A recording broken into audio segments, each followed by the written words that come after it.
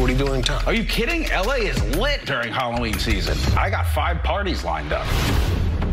Zombie! Have you ever seen anything like this before? Ma'am, can you hear me? It's got to be some new designer drug. A lot of innocent people are getting hurt.